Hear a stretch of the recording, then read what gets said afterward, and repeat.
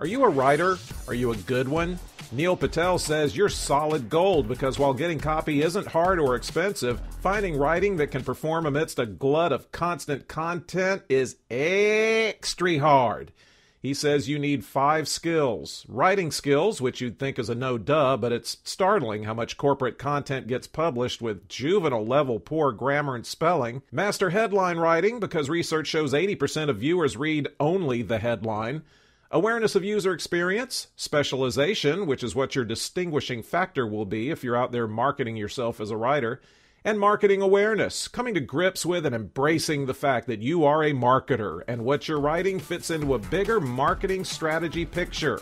Now go get writing right. That was just one story. You can listen to the whole thing at brandcontentstudios.com.